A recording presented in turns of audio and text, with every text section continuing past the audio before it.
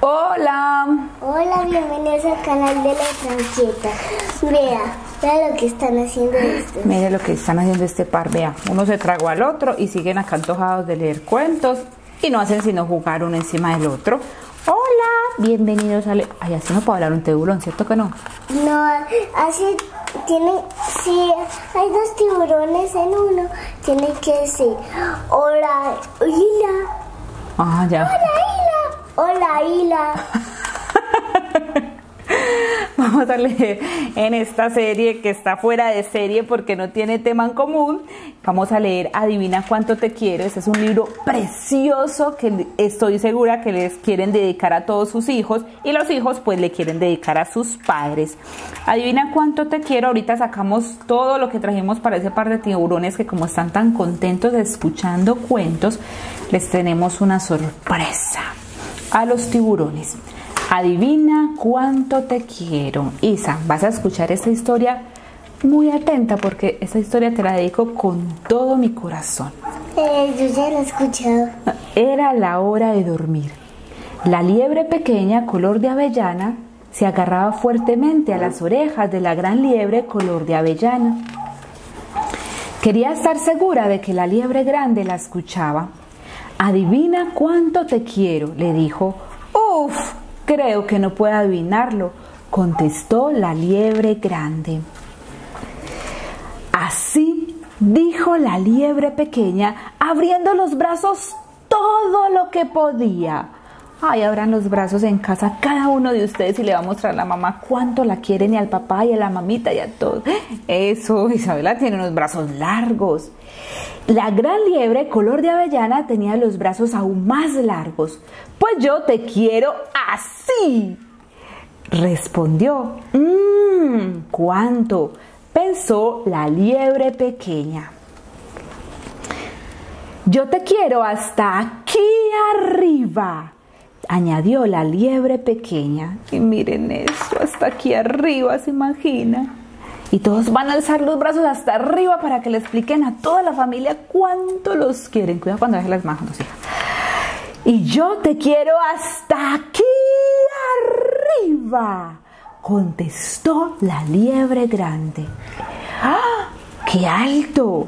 Excl- Ojalá yo tuviera los brazos tan largos, pensó la liebre pequeña. Entonces tuvo una idea.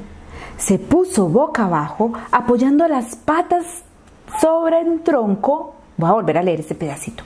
Entonces tuvo una idea. Se puso boca abajo, apoyando las patas sobre el tronco de un árbol.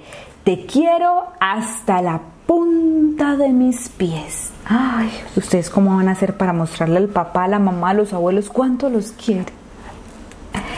Y yo te quiero hasta la punta de tus pies, dijo la liebre grande color de avellana, alzándola por encima de su cabeza.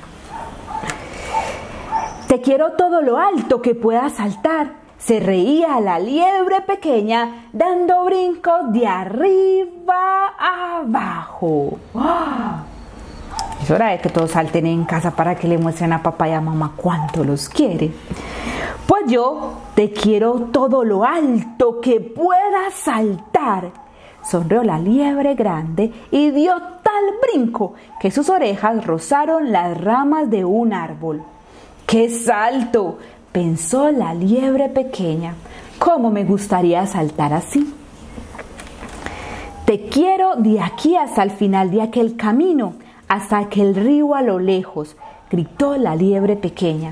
Y yo te quiero más allá del río y de las lejanas colinas, dijo la liebre grande.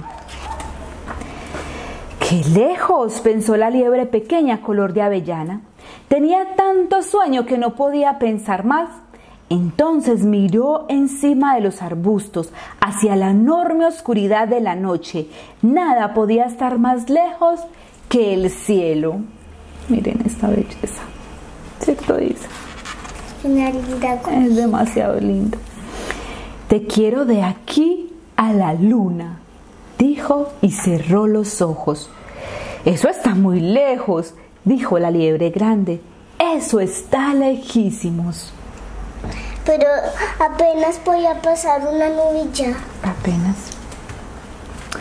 La liebre grande, color de avellana, acostó a la liebre pequeña en una cama de hojas. Se quedó a su lado y le dio un beso de buenas noches. Este final me encanta. Luego se acercó aún más y le susurró con una sonrisa, yo te quiero de aquí a la luna, ida y vuelta. Y colorín colorado, Este cuento se acaba. este cuento se ha acabado. Y saludos a Juliana, a Celestia, a Juan Andrés, a Joaquín, a Sofía, a Vale, a Santi, a Samantha, a Samuel, a Amelia, a Emily, a Alejo, a Juanpis, a Manuel, a Emanuel, a Alicia, a Emma, a Ana Isabela, a Benjamín, a Dana, a Ángel David, a Samar.